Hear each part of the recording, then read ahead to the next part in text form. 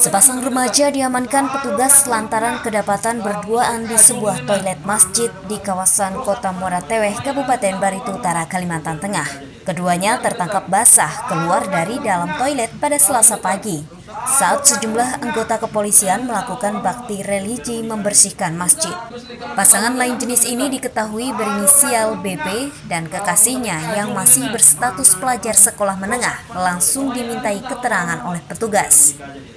Kami membuka salah satu WC, kebetulan di situ ada beberapa WC, itu keluarlah seorang laki-laki dan diikuti perempuan dari dalam karena hal tersebut bukan hal ter, terpuji karena e, berlayang-belayangan jenis dalam suatu tempat atau suatu WC tidak pantas dilakukan.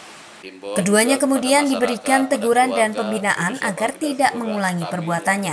Jenal juga menghimbau warga apabila melihat orang yang mencurigakan untuk segera melaporkan kepada ketua RT atau pihak kepolisian. Apalagi itu di lingkungan masjid setelah kami tanya waktu itu juga pada dari Muara Teweh, Maman FR, Batara TV mengabarkan. kebersihan di situ